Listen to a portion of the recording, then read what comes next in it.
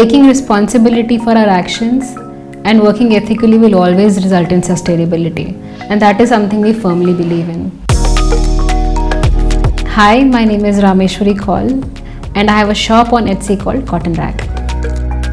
While growing up, I was always drawn towards working in villages, going about and helping people, and this fascination has translated into what we do here at our studio.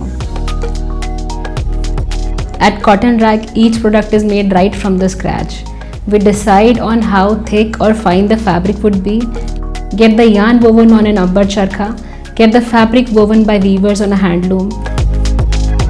Once we receive the fabric, if the fabric needs to be further printed or ornamented, we send it to our 5th generation artisans in Sanganer for hand block printing or else we just make products out of it in our studio.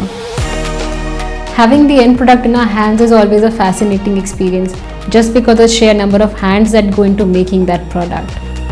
While we follow minimalism, we absolutely love how the audience on Etsy is always receptive and appreciative of the process we follow. Each of our product is not just handmade with love, it is made responsibly while ensuring that everybody is paid well and fairly in the process too.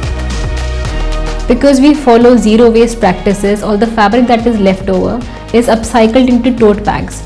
We use these tote bags to package our products that we send to our Etsy family. What amazes me is how Etsy brings together a medley of makers and an audience that understands the product. It feels good to be a part of an ecosystem where like minded people come together to celebrate the handmade process.